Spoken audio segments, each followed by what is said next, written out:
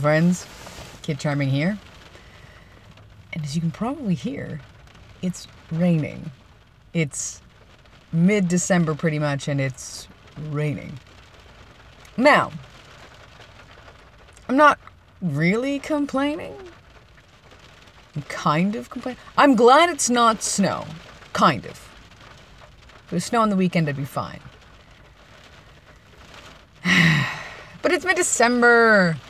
The thoughts of a white Christmas have been drowned. Drowned. In this rain. Yep, yep, yep. White Christmas, don't think it's gonna happen. Worst thing is, is that it's like a high of 11 today, and then it's going to plummet tonight and tomorrow, and there's going to be chances of flurries. So, all of this wonderful rain kind of sounded like Christopher Walken there. All of this wonderful rain is going to turn into ice. Yep. Yep. But on the bright side, today I only work 9 to 5.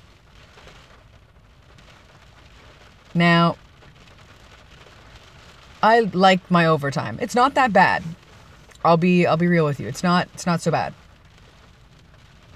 Um my headset keeps dying though, and it's beeping in my ear, and that bothers me. Um but yeah. So what I'm looking forward to is the weekend. Lena has the weekend off. I have every weekend off. So I thought she only had Saturday off. Turns out she has the whole weekend off. We're taking the dog down to the vet on Saturday morning because he um he's limping. He has a bruise I think on his paw, so he's limping a little bit. And uh, his eyes are all red and goopy. Sorry about that. I don't know why I put my head down, like towards the microphone. I should probably like go to the side because if I do that, I'm going like right into the microphone. I apologize. I'll, I'll try to stop that from happening. Um, but yeah, his eyes are, are getting red and goopy, so he needs some eye drops. But he's scratching more, so we think he needs to go back on antibiotics.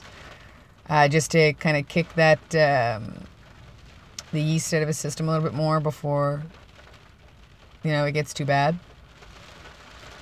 Uh, we're also going to get him multivitamins and joint vitamins, vitamins for his joints because he's a big dog, so his joints are going to start to to wear. Um, wow, that rain's just coming down. 25 milliliters of rain today.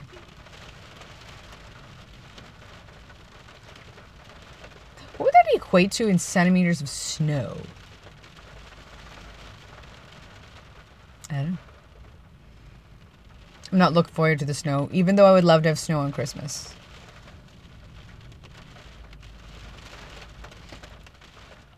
But yeah.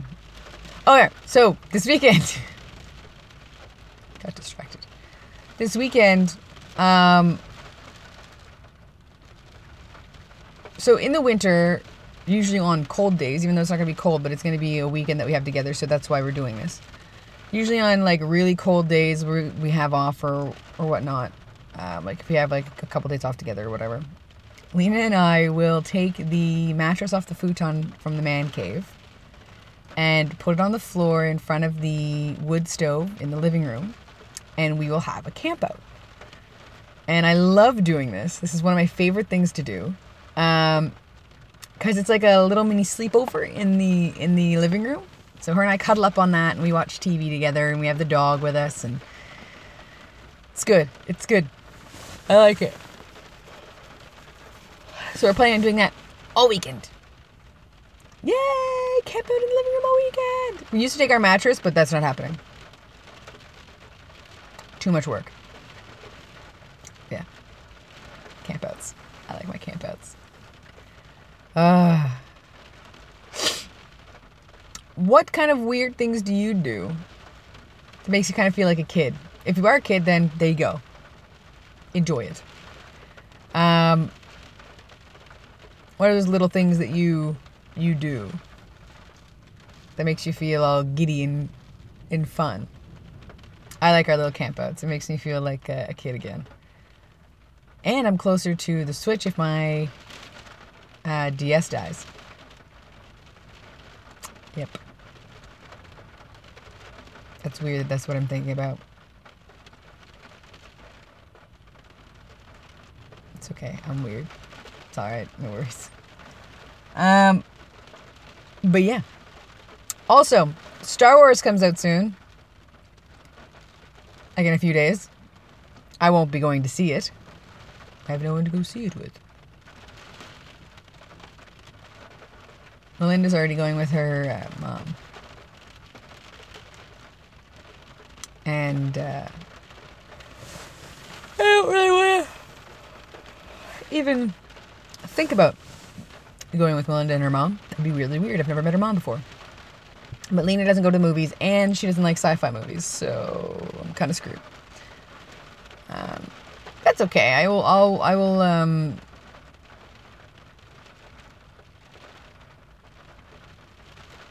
I'll figure it out. I still haven't seen Rogue One, so. And if that's on Netflix and I still haven't seen it yet. Maybe I should do that this weekend, maybe while Lena's asleep. I usually let her have control of the TV and I just put in my headphones. It's called compromise, guys. That's what a relationship's all about. Compromise and communication. You gotta compromise because you can't always get your way. Because that's just rude and mean. And you don't want to be rude and mean to the person you're supposed to be caring about most. So, yeah, don't be rude and mean to your partner and compromise.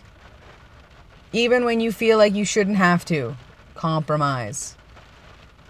It's about taking equal responsibility for things. And just being nice to one another, really. And that sounds stupid. Like, yeah, be nice to the person you're in a relationship with. Guys, that is something that people really need to know, unfortunately. Because some people aren't nice to the people they're in relationships with. Actually, a larger number than I'd like to admit are not nice to the people that they're in relationships with. And I don't mean like periodically be nice to them. No, you should just be nice to them in general. Yeah, it's okay to argue every once in a while. Lena and I argue every once in a while. We get into a fight, whatever. Not as often as we used to because we've worked on our communication skills and we're no longer scared to tell each other when something bothers each other. That took a while. But we still do fight. We're not perfect. Not even close. And I need you guys to understand that we are not a perfect couple. There's no such thing as a perfect couple. We're not even something that you want as a goal. Like this whole relationship goals, and you see like a good couple together, you don't know what their relationship really is. Because when you see them, they're in public. You don't know what it's like behind closed doors. You don't know if that really is what you want your goals to be. Don't wish for something that you don't know the entire story about. I'm just putting that out there. Because guess what? Wishes sometimes do come true. Lena is everything I ever asked for. And prayers, by the way, they come true too. Not all the time, but sometimes. I asked for someone exactly like Lena, shorter than me, shares my beliefs, um, was a li- good listener, uh, not manipulative, stuff like that. Like I had a list, and Lena hits pretty much every single tick on that list. So be careful what you wish for. I know that that sounds like something, but there's another thing on there that I was like, I'll even have this if I have to, and that's what happened. And it's it's not perfect. I was just really desperate when I wished for it at that point. Though everything else is perfect. Not perfect, but like what I wanted. Um, other than green eyes, I asked for green eyes. I didn't get green eyes, but that's fine. I like Lena's brown eyes because they change color brown, which I think is really neat because you don't really normally see that in someone with brown eyes. You don't really see that change color happen. So that's really neat. I like that. It's even better than green eyes. I got cool brown eyed girl. Um, yeah, yeah. I even had a list with with with uh, with with eye color. She's got brown hair. I was a little superficial at the time. You know, it was like listed like shorter than me, green eyes, brown hair, and then it got into the other stuff. And Lena hits almost every marker, which is great. She's everything I ever wanted. But you got to be careful what you wish for. So if you look at a couple out, you know, in the mall or whatever, you're like, oh, relationship goals, you don't know what that's like when they're not in public because people will act normally. I'm not going to say all the time, but people will normally act more proper when they're out in public than they will behind closed doors where nobody can see them. So you don't know what it actually is like for that couple. You don't know if they fight constantly or if she throws things or he throws things or whatever. So be careful what you wish for. Be careful what you say you want your goals to be. Don't judge it off of another relationship. I didn't judge what I wanted off of another relationship. I just knew what I wanted in a relationship and that's what I that's what I that's what I prayed for. I'm not to lie. That's what I prayed for. Um but you got to you got to be you got to be careful. Don't use another relationship as goals. And that's me telling you don't use my relationship as, you know, oh, that's relationship goals. It's not, trust me. We are not perfect. Nobody is perfect. There's no such thing as a perfect relationship. You are going to fight with one another, and that's healthy. Because if if you're not fighting every once in a while, then someone's not being honest. And if there's no honesty in a relationship, it's going to falter. It's going to break down. You need honesty in a relationship. It is honesty and communication are your biggest keys to a relationship.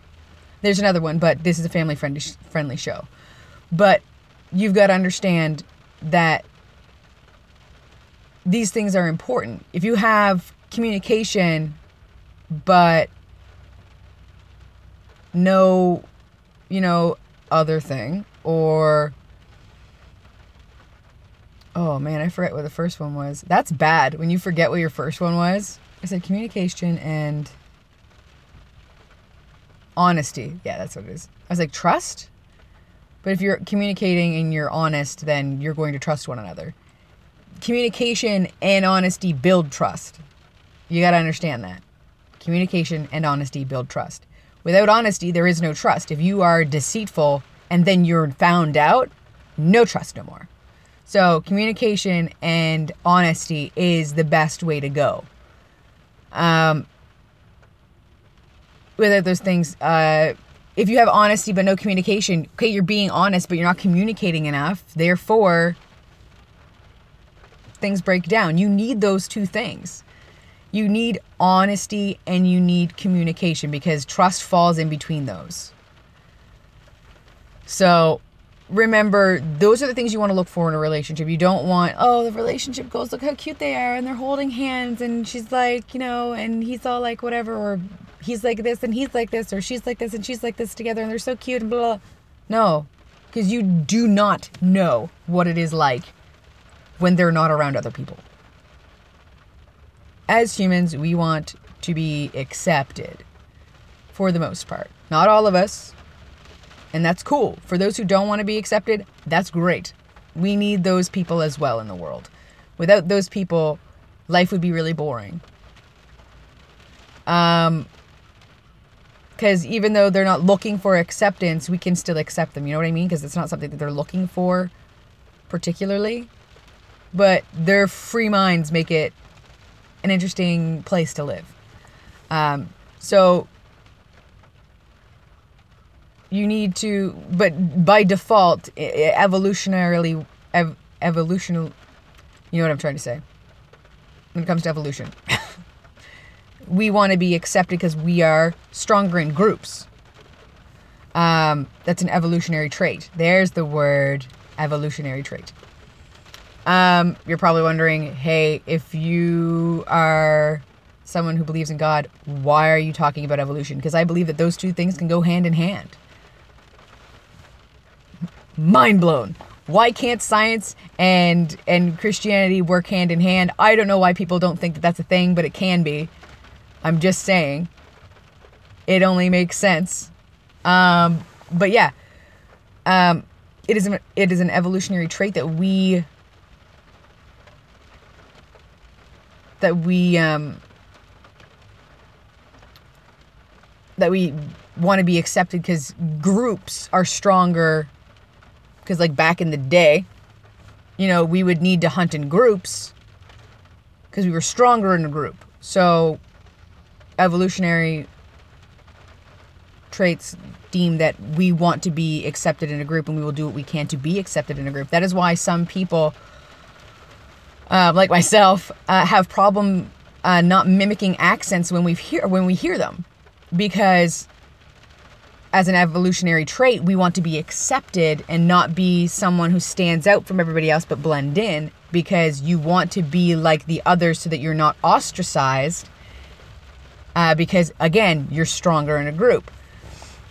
So when it comes to how that how that filters back, you know, quick science lesson. Even though I don't know the science behind it, I'll be real. Uh, I like science, but I really didn't do well in science, and I didn't really study a lot of history either. So we're just going by what logically makes sense. But I'm pretty sure that the whole group pack thing is a is actually a thing. I am like 99% sure. Um, just think about it logistically. Just let's be real. Um, but how that ties back into relationships and, and people being different behind closed doors is that that need to be, that drive to be accepted and part of a group would cause you to hide traits that a group would find um, not okay. So if you're a bad person and uh, you're an abuser in a relationship, you're not going to show that type of behavior in front of others. You would do that only behind closed doors because you know that it is not socially acceptable to be that kind of a person. So, like, I hope you guys understand what I'm saying. So, don't kind of like idolize other people's relationships because you have no idea, no idea what it's like behind closed doors. And I'm not saying this from experience. I've never really been in an abusive relationship, but I know people who have been. And I never would have guessed. Because you see cuz they can't they can't hide all the time. But you can kind of see those in those times where they kind of lose control for a second. You're like, "Mm, something's not right there." But you don't know for sure. You don't know if they were just really stressed or something, and that's why they reacted in the way they did. You don't know. Like, I don't get violent when I'm stressed, but I get angry. But I don't get violent. Like, I'm not a. I don't hit people. It's not my digs. Me, no matter how angry I am, for whatever reason, I still hold a sense of control no matter how angry I've ever gotten because I could get super mad at let's say somebody or whatever. And you know how people like you see in movies and I've actually seen people do this where they rip pictures of themselves and another person up into little pieces and I'm like why on earth would you do that? If you don't have another copy of that and that's actually a really nice picture you're going to regret that. And that's always on my mind when I'm angry regardless of how angry I've been. And I've been pretty furious at times I still won't break things and I won't rip things that I know I will probably regret later on. I've done it once because I was like, screw being in control. I'm not going to regret this. Even though in the back of my mind I knew I was going to regret it, but I wanted to prove to myself that I could be a badass and break something. And then I felt really bad about it because I actually really liked those sunglasses. Yep. I still regret that. So again, you don't know what things are like behind closed doors, so don't idolize somebody else's relationship. And that means don't idolize mine because it's far from perfect. I'm not saying that we have a terrible relationship and you don't ever want to be like us, but be who you are and be what you want in a relationship. That's what you have to do. Be what you want in a relationship. If you want a trusting and, you know, honest and communicative person in a relationship, be that person because most likely you're going to attract a person like that. Be who you're looking for in a relationship. Because if you're not what you want in a relationship, then how is anybody else going to want what you want in a relationship? You know what I mean? Though differences do like differences in in a relationship are good. Like Lena and I are complete opposites for the most part, but what we're looking for in a relationship is the same thing. We're looking for an honest person, a communicative person, you know, someone who's actually going to care about us, someone who's going to take care of, of us, you know, someone who is willing to do what they can to to make their family work. Someone who's going to fight for um, the relationship if things get rough, you know, who's going to fight for one another when things get tough, you know, someone's going to be there who's going to be their rock when they need it. Like we found what we were looking for in a relationship, but us, our personalities and what we enjoy are completely different. I'm a very emotional person.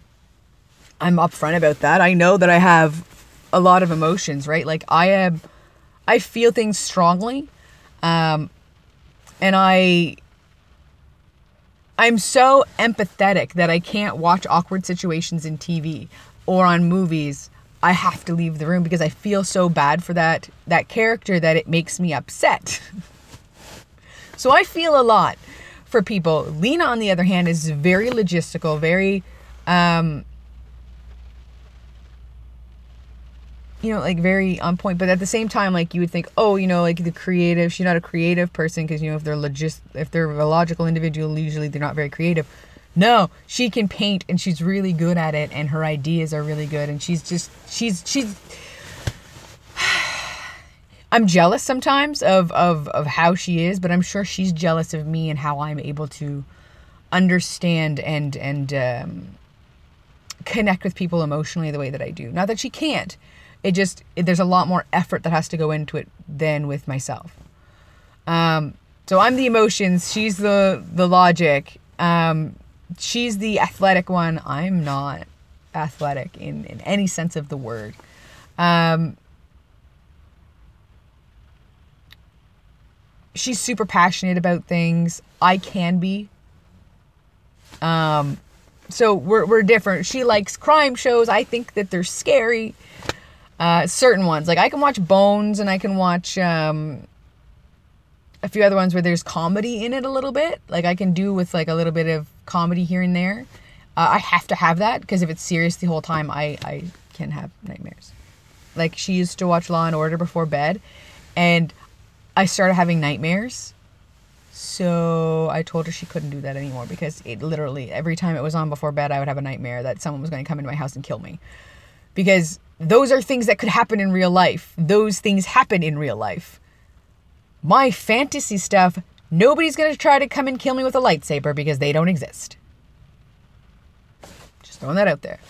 I don't have to worry about. I mean, kind of, kind of have to worry about aliens, but at the same time, you don't really because we haven't had contact as far as we are aware. But again, I talked about aliens before mathematically, it is impossible for aliens not to exist. Period. Like, if you look it up, mathematically speaking, the likelihood of Earth being the only planet in our entire universe without li- with with with life is like impossible pretty much. It is it's not impossible but it's highly highly highly improbable. Like there's a math um, just judging by what we can even see in the universe so far, which we can't see all of it, it was unlikely. So if we really like, we don't know the vastness of the universe. So basically, it's impossible. It is almost impossible that we are the only life form. Now, life form doesn't mean either they are behind us in evolution or they're so far advanced evolutionary wise that they don't need us. You know what I mean? Like they don't need us, so they're not going to come looking for us because they probably know we exist, but they don't care because they're like, no, that they there's no way they're ever going to come and find us. They're they're not like we're like dinosaurs to them, pretty much. Um, wow, this is taking a weird turn. But yeah, so back to relationships. Um, I don't even know how I got on that. I'll have to watch this back of later on and see how I ended up with aliens. Oh, right, because TV. Um, so we're very opposite, Lena and I, in those aspects. She's not really girly.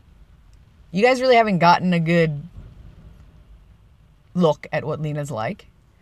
Um, but she's not super girly. She's she's she wears like I wear dudes clothes because I find them more comfortable. That and girls' clothes are really like, for the most part, not my digs because they're very well feminine and I'm not a feminine individual. Um, but yeah, like Lena, Lena wears girls' clothes, but she's more of like one of those sporty people. You know what I mean? Sometimes she'll dress up and she's like really nice looking. She's really nice looking anyway, in my opinion. I find I have a very good looking wife, which I am very lucky for because not only did I get a good person, I got a good looking person, but I always told her that was a bonus. Like I fell in love with who she was as a person because I had never met her and I had already started to have feelings for her. So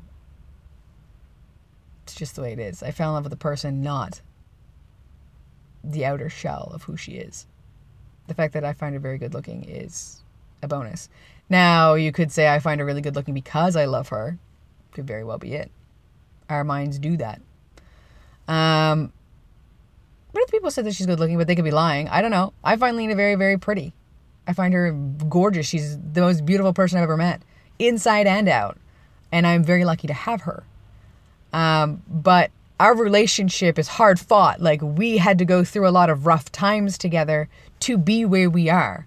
So again, idolizing someone's relationship, you don't know what they've been through either to get to where they are. The fact that my relationship is as good as it is right now is hard fought. It was a hard fought win for both of us because we both had to get over some things that had hurt us in the past. And I had to get over ideals that didn't make sense. And she had to learn to um, kind of accept herself um, because she'd had people tell her in the past that her her that her past was too much or her as a person is too much. Lena is not as much as I feel she's a perfect person, she's not perfect. Neither am I. I have my downfalls. I have a lot of flaws. Like everybody does. Like I have my fl- flaws and one of them is I get angry. I'm a very I can get very angry and when I get angry it's I don't know, it, if I get super angry, I just scream a lot and that's one of my faults that I am learning to control. Uh, I have faults where uh, I have trust issues that have nothing to do with Lena. Lena's never given me a reason not to trust her, but I have trust issues from things that have happened to me in the past. Um, sometimes I can be super pig-headed about things and refuse to see reason, which is something that I don't like in a person, so I don't like that about myself. And there's a few other things that that make me not a perfect I have ADHD, which is really hard. I don't think people really understand how hard it is to be ADHD regardless if you're medicated or not. Um, there's a lot of things that come with that other than attention span. Like people just think, "Oh, you just can't concentrate on stuff." No, there's so much more than that. Um, or you can't sit still. It's so much more than just not being able to sit still. It's so much more than not being able to concentrate. It's hard to be we think differently. We have a harder time with with life in general. Like we forget to do things that regular people do all the time. Like we constantly need reminders of regular everyday things. Like my wife sometimes has to remind me to eat. The fact that she has to remind me to do the thing that is life sustaining is a little weird but she sometimes has to do that. There was a time like if I'm getting really like if I'm very busy, I will not eat. If I'm super busy or if I'm never bored, I don't eat because the only time I eat by myself, like I, I make myself eat, is if I'm bored. If I'm focused on something and you're like, but ADHD means you can't focus. No, it means it's hard to focus on things that we don't want to focus on or we don't find interesting. Or is not being presented into in, uh, presented to us in a way that we find intriguing. We constantly need to be stimulated by something. Because our brains are constantly going. Like, uh, you may think that your brain is constantly going, but it's so much more than that. It is like, you know, when you can't sleep at night because things keep flowing through your brain? Take that and times it by 10. And that's us when our brains are kind of supposed to be at rest our brains are continuously going, always thinking, always doing something. We're always moving, we're always doing something. But if we find something fascinating, we will hyper focus on that and nothing will take us out of that focus. Like it takes a lot to snap us out of it. So, if I was ever researching something I found fascinating, I would research for hours without getting up from where I was so I would forget to eat. So my wife has to remind me to do that if I'm super focused on something. As long as I'm not bored, I won't eat. But we're running out of time because this thing will only let me record for like 33 minutes before it before it cuts off, and we're already at 31. But again, don't idolize someone else's relationship. Just be who you want in a relationship, and things will work out for you. I hope. I have faith that it'll work out for you. Anyway, I got to get going. Um, Kid Charming out.